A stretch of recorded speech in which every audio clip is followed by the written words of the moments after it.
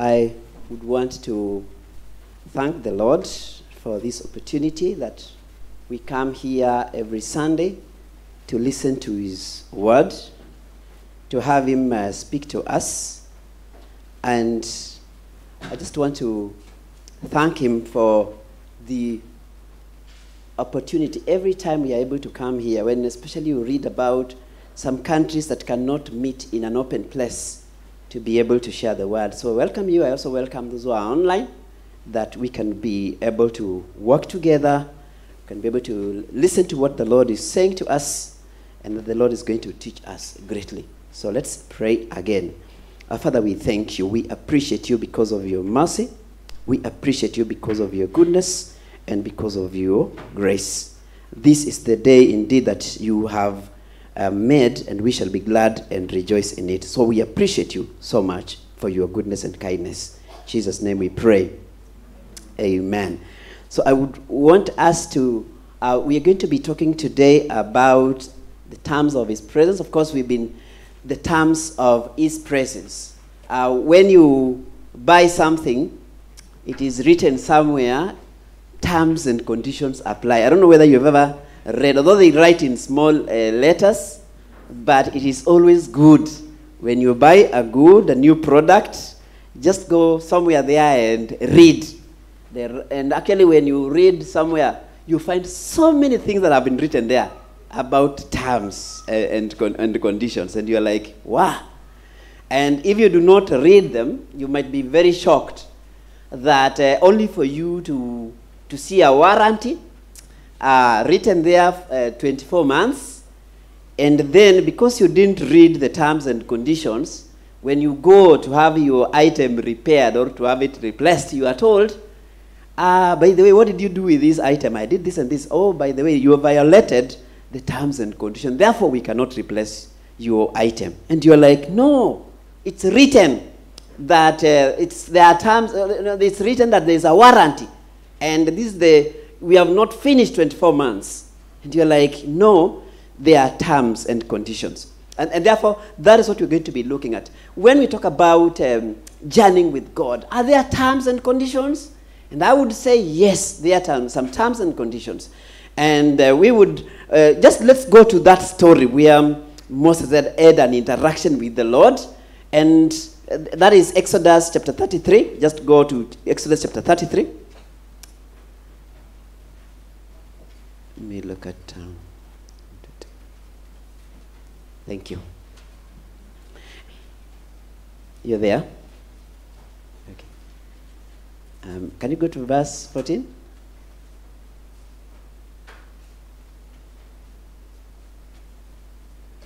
Okay. Um, could you go back to 13? Yeah, we could start with from 13 and then we, we go downwards and we see what. Now, if I have indeed found favor in your sight, please teach me your ways. I will know you and find favor in your sight. Now consider that this nation is your people.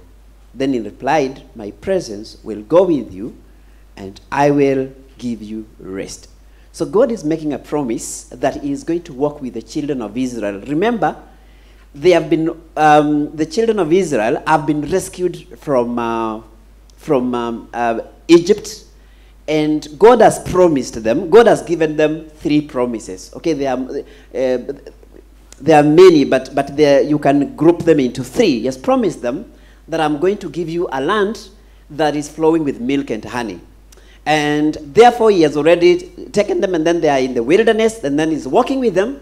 But there are quite a number of difficulties on the way.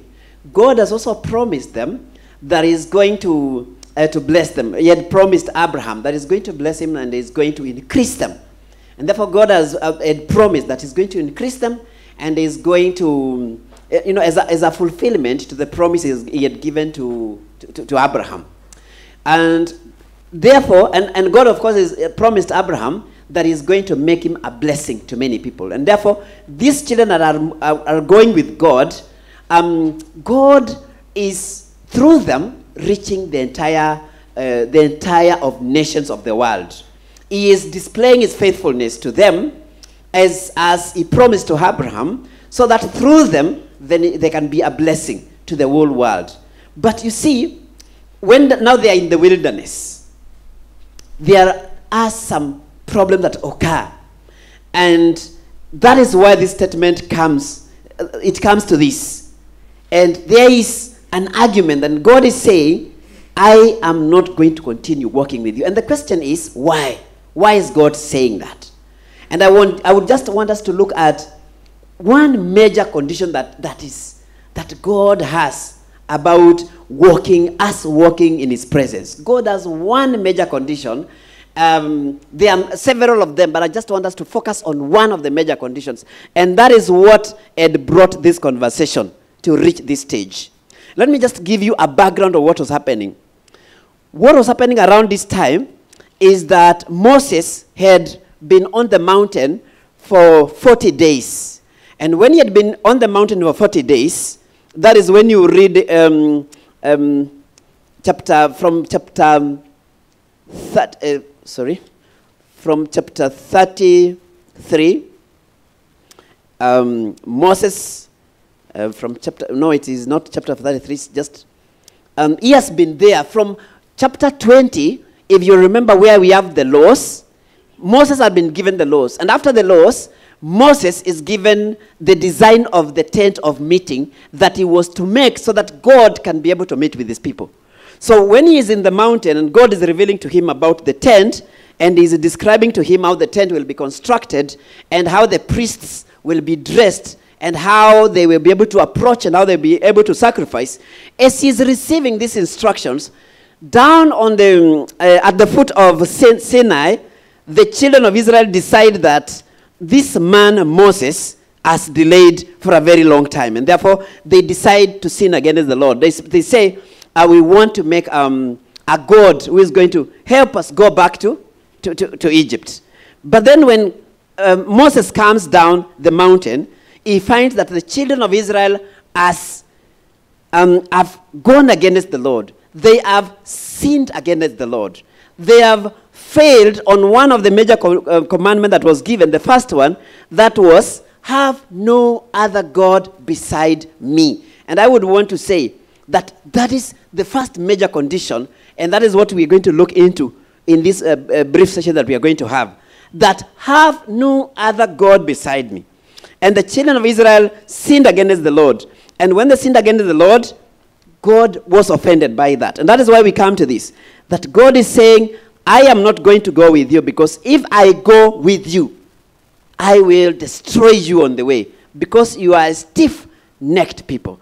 So, therefore, we see that these people are to go to, to, with God, but God is saying, for me to walk with you, there are some terms, there are some conditions for us to walk with the Lord. And anytime we have a problem with the presence of God walking with us, I want to submit to you that among the serious condition or term that we violate is this one of having another God, having another source of security, having another source where we say, like the children of Israel said, let us get another God to help us to go back where we came from. And that happens quite a bit. And we are going to look what are some of the conditions? That's one of the things. What are some of the things that we go through that make us have another God? What are these other things that we go through as human beings, as believers who have come to know the Lord Jesus Christ? And as we do that, you may ask, is there these were the children of Israel. How do we come in? I want us to read 1 Corinthians chapter 10. Let, let us see how we come in as believers. And it gives us a very good story about why today's Christians, we are like the children of Israel. Okay, we are there. Um, that is 1 Corinthians chapter 10. Let's read from verse 1. Now, I want you to know, brothers, this was a church in Corinth, and it was a church of with Jews, Greeks, and all kinds of people were included. And then it it tells them, I want you to know, brothers, that our fathers were all under the cloud. If you remember in the book of Exodus, that is where all the Israelites were under the cloud. They were being led by the cloud during the day, and at night there was a flame of fire. Then it tells them, all passed through the sea. And we know how Moses lifted his hand, uh, his staff, and God parted the Red Sea. And they passed through it. It continues. And were all baptized into Moses in the cloud. In other words, actually, we are told that when they were under that cloud, it was a form of baptism that we also go through when we become believers. And then he tells them, um, and also in the sea, when they passed through the sea, it was not just passing through the sea, there was a greater significance about passing through the sea. And that is like when we go into the water and we are baptized, and we come out of the water. They went through that. The children of Israel, brethren, they were born again. Why? Because the Bible here is saying that they were baptized into Moses, that is in the cloud and in the sea. They ate some spiritual food. These people were spiritual. They had spiritual food. This manna was not just about uh, them getting their stomach full. It was, it was a spiritual food. In other words, we are now feeding on spiritual food as we hear the word of God. And any moment that you go through the scripture, you are feeding on the word, uh, on, the, uh, on spiritual food. Then we come, we take this Holy Communion, we are uh, participating in spiritual food. And the children of Israel, we were told that that is what they did. We can, um, um, all drank spiritual, uh, spiritual drink. And today we have done that. Brethren, these people were born again. They were saved from Egypt and also from Satan and from, from sin. And that is the picture that we are getting about it. And it continues. That followed them. That rock was Christ. You see, you know, when we hear about Christ, we think we are the one who, um, you know, Christ, uh, of course, was crucified um, during uh, this dispensation. But the Bible is saying that rock that Moses was told to talk to so that it can produce water, that was Jesus Christ. Can you imagine that? And us, we also come here and we have partaken of that. As I share with you this gospel, Jesus Christ Himself is ministering to our hearts by the power of the Holy Spirit. Brethren, don't, we can't read this story and we imagine, when we talk about God's presence, we cannot just imagine it was happening somewhere in the wilderness many years ago, and we do not even know what was happening there. They were going through an experience that was pointing to our time. Praise the Lord. Amen. Can you imagine? Jesus was there. That rock was Jesus. And Jesus is still with us now. And he has been manifested. We know him more than they knew him. Them, they knew him, you know, they, they just would see a rock that was accompanying them. They didn't know that that was Jesus Christ. He would um, quench their thirst. And today, Jesus Christ quenches our thirst, brethren. Even as we share this, we might think it is, um, it is it's not Ribena. There was a time we used to have some, some wine, but we had some, some challenges. But it's not about whether it's Ribena or whether it is wine. It is about Jesus Christ. Praise the Lord. We try to say that, but we say, because it was, many people are getting stumbled by, by the wine. We said, let's go to Ribena, because it's not about the Ribena, it's about Jesus Christ. He is the rock from which we are drinking even as we worship here, as we drink from the Lord Jesus Christ, it is about Jesus Christ. May we not be stumbled. That I, I thought, what were you taking? It was Jesus Christ. Of course, it was um, the elements, but it, it signifies more than that. And the bread that, that signifies the broken body of Christ Jesus. And they went through that. But I want us, brethren, to go to verse 5 because that is where the message is. Where, where the terms and conditions come.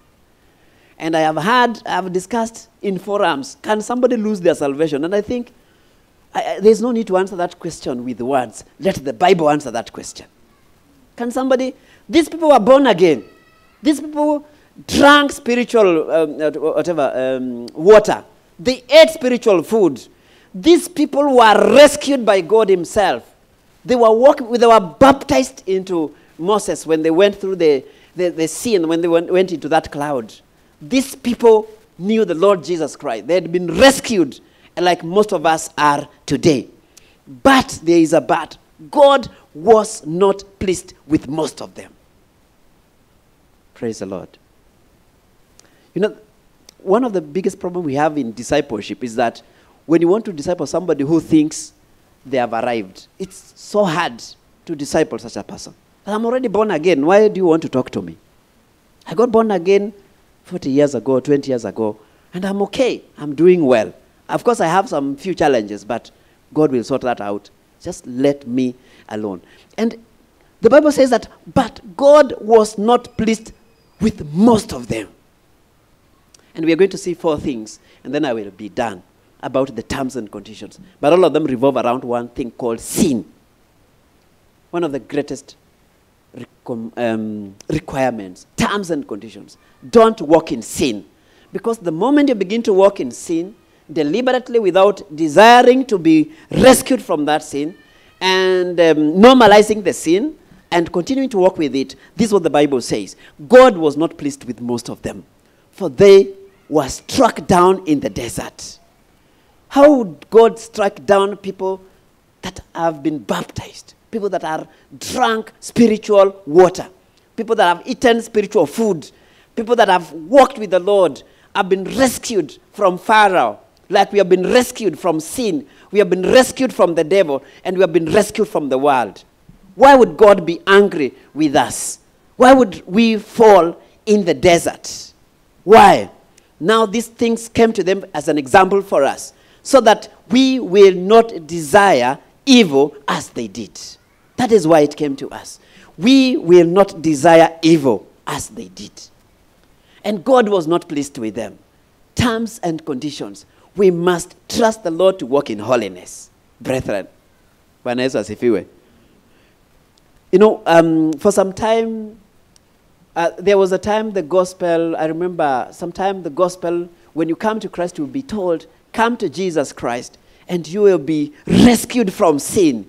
You will be rescued. You are going to, to be delivered from habits that do not please the Lord. Hallelujah. But then uh, sometime the gospel changed, and it came to come to Jesus, and you will stop suffering. Come to Jesus, and they will give you that thing that you have always desired. Come to Jesus. And by the way, Jesus does that. But I would say that the central message of the gospel was, was abused. I would say that. So that when people come to Jesus Christ, you hear somebody saying, I want to backslide. Why do you want to backslide? Because Jesus Christ has refused to do some things. I have been trusting Jesus for something to do to me, and he is delaying, and yet I have been faithful to him. And therefore, Jesus must answer some questions because I have some questions against Jesus. Why? Because I came and Jesus has not done one, two, three, four. And I think that is very wrong gospel. That Jesus has come to rescue us from sin. Jesus has come to give us eternal life in his Son. Jesus has come to give us adoption into sonship. And that Christ Jesus becomes our brother. And that Christ Jesus we become, becomes our Father, becomes our Lord. And that we desire and we, um, a new heaven and a new earth is prepared for us. And a new city is prepared for us. Praise the Lord. And we have been rescued from eternal perishing and death.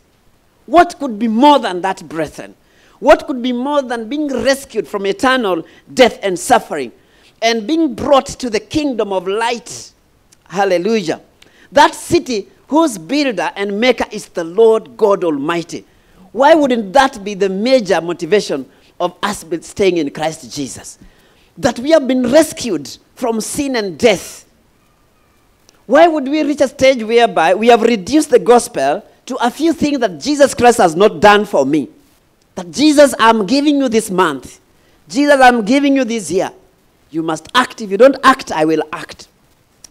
May God help us. May God help us. I'm telling you the truth. I have been in, in a situation whereby I have had, I have failed and almost imposed and put some conditions for Jesus Christ. And, and, and I'm telling you the truth, we can be tempted to enter into that situation.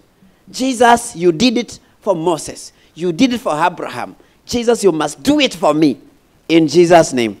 And I'm telling you the truth that we must never come to that place because we are we have been rescued we were slaves of sin we were slaves of the devil we were slaves of this world and we were doing hard labor we were being mistreated and harassed by the devil jesus comes and rescues us and puts us in a church and puts us in the, his body to take care of us to prepare us for eternity and jesus is doing that and then instead of us offering ourselves as living sacrifices and being ready, Jesus uh, remove the remaining sin. Jesus deal with us. Remove the selfishness. Remove my desire for sin and other things, oh God. Rescue me from sin and myself. Rescue me from the devil and his plans, oh God. That is my prayer and that is my desire. We reach a stage where we are thinking, Jesus, we have a contract with you. You, you do your part, I do my part. Jesus, I've done my part. You are not doing your part. And therefore, I get discouraged. But I want to tell us, Jesus has a part he's doing. Oh, let's continue uh, with, uh, with this uh, before I, with this thing. Yeah. They did. Now, these things came as examples so that we will not desire evil. Let's go look at those four evils, then I will be done. By the way. Those four evils. You are there. And let's go to. Thank you. Don't become idolaters as they did, as idolaters. As reason that people sat down and to eat and drink and got up to play. So the first one is idolatry. Having some things that you are valuing more than Jesus Christ. And I came to discover when you find something you are putting a condition for Jesus to do, most probably that's an idol. Most probably, just investigate that thing. For those of us who have something that you are telling Jesus, if you don't do this, we will review our relationship. When you look at it very well, you'll discover it is an idol. It doesn't matter what it is. It could be, it could be that Jesus, I must graduate. If I don't graduate, we will review our. That has become a God already. It could be an issue about marriage. If I don't get married, Jesus, this year, we will review our relationship. That has become an idol already. It might be something very good. It might be actually a spiritual, let me even shock you. It might be a spiritual thing you are desiring. Jesus, if you don't make me more holy, we will review. It could be something, it could, I don't know what it is. It could be something that looks spiritual. That Jesus, I want from this year, when I wake up in the morning, to be seeing your face physically. That's my prayer, Jesus. Moses prayed it, I pray it also. Show me your glory. And if I don't see your face, Jesus will reveal. That has become an idol. Your desire to see the face of Jesus has become an idol. Your desire to be, to be has become an idol. And any idolatry, it's condemned in the Bible. Praise the Lord.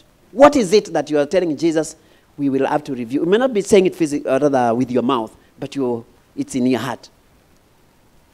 And we reach there a lot. Uh, you know, we reach there a lot.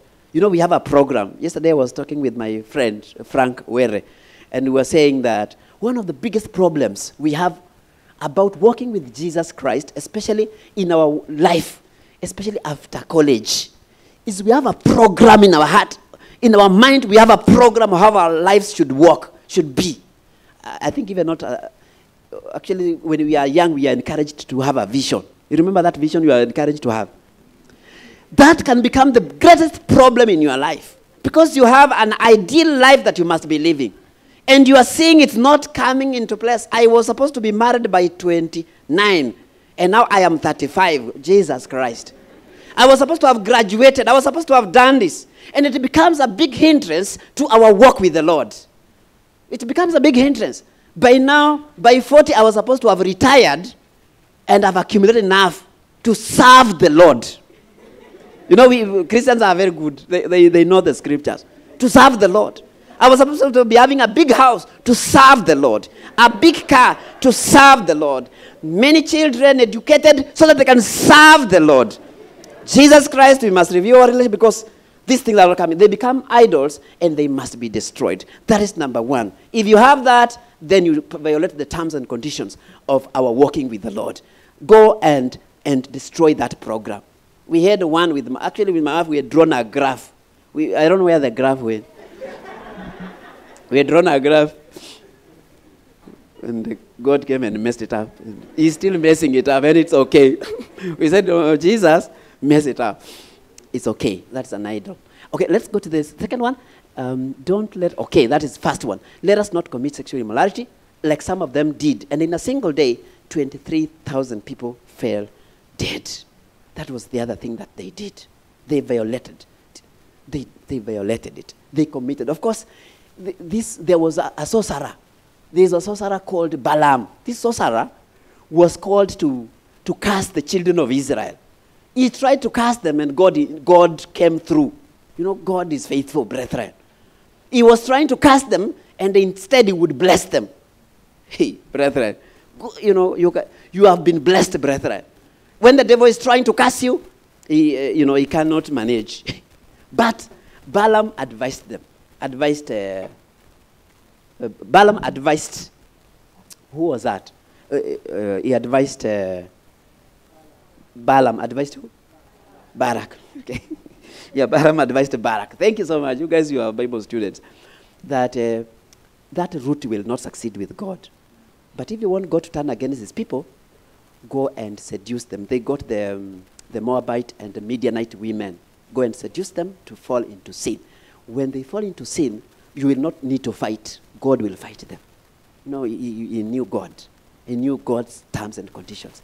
And he did that. And you know what? In single day, 23,000 of them fell dead. Brethren, let us run away from sexual immorality. If you are not married, God has the grace of celibacy. Brethren, there is enough grace. I'm telling you the truth. There is enough grace. Amen. Because the moment you walk the route of sexual immorality, God's presence will not walk with you. You may not be cast because God will protect you. But if the devil turns and you become, um, um, you violate that and you become, you sin, sexual sin, either through uh, pornography, masturbation, or having another girlfriend or a boyfriend, that you are walking with the Lord and nobody even knows about it, God's presence will not go with you. For those of us who are married, let's be faithful. That is it. You know, some people go and sin and pray, come and say, hallelujah, God's presence. Move around here. They think God's presence brought by loud voices and prayers. It's not brought by loud voices and prayers. It's brought by walking in holiness. Yes. The Bible says in uh, 1 Thessalonians chapter, chapter 4, should be verse, could I remember that verse? Which Bible talks about how to get married. We should get married in a holy and honorable way. Can you get us that one? You know, God tells us how we should. And let me just say this, brethren. I'm speaking in low voices because, because I'm a pastor. Those of us who are married and you do not have documents, please get the documents. You might go to heaven and be shocked. When you see records, say, you guy, you are never married. According to our records here, you are never married. Say, no, no, she's here. No, according to our records. Brethren, these things are serious. For, um, for this abstain from a section that abstain, let's go to the other one. You may be very shocked. God, I was married. No, you are not um, abstain, possess a vessel with sanctification and honor. Get married in sanctification and honor. Let's do it the right way. There, it's not too late to do things the right way. Just do it. Do it. Brethren, let's be faithful to our spouses. Is that too much for God to ask? It's not too much compared to eternity and God's presence. So we want to go with God's presence. If you jump from a prostitute's place like Samson, and of course, God would, would again do quite some miracles. Let's not, God cannot be mocked. Let's go to the other one. I want just to, to finalize now. I can see my time. It's not on my side. You are there? Uh, go back to, oh, we were in first, we were looking at the four things in first Corinthians chapter 10. We were at the second one. So please uh, can go back to that place. Yeah. So please, about walking in all. Those of us who are trapped in um, masturbation and pornography, we are here, we can walk with you. Brethren, please don't, don't die. We've had some people come forward and we've walked with many people. D- don't just say, God will understand. God knows what is happening. No, just, just come out. Come out. And of course, I had already said this that if you, there are those people who feel like you want babies, but you don't want marriage, ask God to remove the desire for babies because babies are supposed to come uh, through marriage. Tell God, God, I want your presence. Remove this. this. It's a holy, unholy desire. Children without marriage. Um, let's trust the Lord for those who are born again that we can walk that route. We are there. Let us, uh, let us not tempt Christ as some of them did and were destroyed by snakes. Tempting Christ. I think this one is where, this one is linked to what we were saying, where you would, um, you know, the children of Israel were asking, can God make a table on the desert? And they were told they were tempting the Lord. They were tempting Jesus Christ. In other words, these are things that you do, and actually they can amount to tempting Jesus. Because, for example, when you put conditions for God, for Christ to do for you before you do something or you are faithful, that would be termed to be testing the Lord. Let's go to the last one. Um, nor should we complain, as some of them did and were killed by destroyer. And I'm telling you that one of the things I fight personally, uh, let me confess, I, I fight personally. My wife keeps telling me that, especially when we are on the way and a vehicle overtakes me in the wrong way, I complain a lot. I, I see her looking at me, and I'm still praying that God would help me, rescue me from. I, com, com, I, you know, I find opportunities to complain, and may God help us not to find. There's a time I used, I would come to worship, and then I would complain so much about the praise and worship team, because I'm like, brethren, you know, bring this thing. And therefore, I would not even worship. I remember there was a church I was, and the keyboard and the, the I, I, I don't think they ever they were ever together. The keyboard and the. So it came a time when I would even go deliberately late, so that I avoid complaining. But I discovered you can actually co- overcome complaining, brethren. You can actually say, Jesus, they may not be coordinated, but Jesus, you, you are coordinated. you can worship and pray together with them because they are also, some of them are also struggling and they are saying, Oh, God, help us. We, you can overcome complaining. You can overcome complaining in church, um, especially, you know, in church. You see, there are quite a number of things in church that do not happen the right way. I don't know whether you know that by now. Uh, if you have been a Christian for several years, there are things that don't happen the way they were supposed to happen, quite a bit. And we need to trust the Lord that we can be able to talk instead of complaining. We can be able to look at that person and talk to them instead of going somewhere and complaining. Because the Bible says that when you do that, God's presence will not go together with you. Even in our places of work, I, th- I think the, the worst place is our place of work, brethren. You know, that is where, in fact, the church is better compared to the place of work. There, things are worse. You know, you find a boss who does things the wrong way, violates the very policy that he tells you to, to follow. And you have a very good reason why you should misbehave and why you should not do the right thing. Brethren, and, but God has really helped me over the years not to complain about my employer because my employer is, you know, was not one of the most good employers. And I'm sure yours is, is no better. But, but the Bible teaches we can learn one time I had to learn to, to, to be able to face our principal and just tell him instead of complaining somewhere else. And I discovered that, by the way, there's a lot of good that comes from that. Well, of course, you have to start to do it the right way. You have to say, it, ever since you came here, you have been the best. and make sure you're speaking the truth. Make sure you are, can say, but there's one thing that I think if you can do it, it can be better. Let's learn, learn not to complain. In our family, oh, another place, oh my God with our families, our parents, and our spouses, brothers and children. You know, like leaving the house is leaving the house is, is another business altogether. Eating is another, going to sleep is another major conflict. And may God help us not to complain, especially as parents. And children have a very good way of knowing that the parents are not doing the right thing. And we can be full of complaining. I'm telling you, when we do that, God will not be together with us. You can face your parents, you can face your spouse, you can face your children, you can talk to them instead of complaining. One of the greatest things that you might ever learn is how do I communicate without complaining? Because even if you say you're not complaining with your mouth, your heart might be complaining already. So you have not solved the problem. So let us learn how we can be able to approach people and be summon enough courage and talk. Even about our government, brethren. We need to learn how to. I'm not saying we should endure every evil. Some needs to be con con confronted. Let us come up with systems that we can be able to do that in a godly way. We can tell the government, excuse me, government, we are here, we are peaceful. We are very peaceful, by the way. But we are standing, and we are not going to stone anyone, we are not going to do anything. Even in, in a school like this one, where administration, administration is going haywire, students who are believers can go in front and face leaders and talk to them with respect and honor. We can do it with respect and honor and sanctification. I'm telling you, things can work. I want us to pray.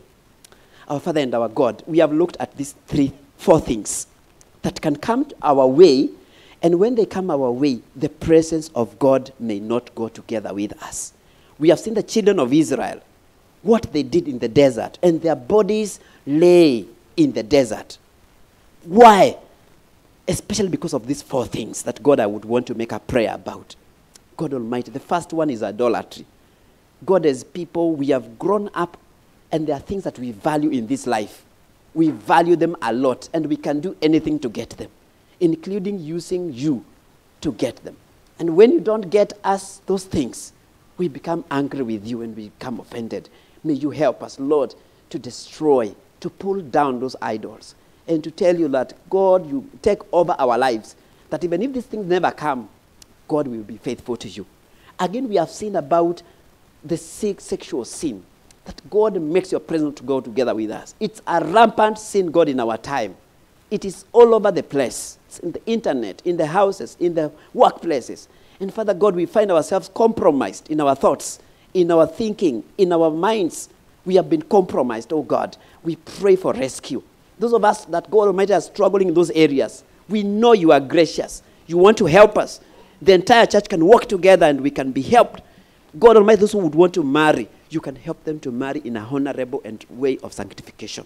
We pray that God will help us not to walk in sexual immorality, but to walk in faithfulness. We have also seen about not testing you, not testing the Lord, walking in unbelief, and think that God cannot do anything, whether good or bad. That God we will trust that you are able to do the right thing. And lastly, God, this great thing about complaining and grumbling, which God came and you slay, many were slain because of complaining. You told them that their bodies will lie in the wilderness because they complained and doubted your power and your goodness and your mercy. May we not doubt it. As children of Christ, of Christ Jesus, as people that have uh, been baptized, have walked and taken the spiritual milk, have taken uh, the spiritual uh, drink and the spiritual food, have been walking with the rock who is Christ our Savior. May we not reach a stage where verse 5 says, But the Lord was not pleased with many of them because they desired evil. May we not desire evil. May we desire good. May we walk together with you because you are our Lord. For I pray this in Jesus' name.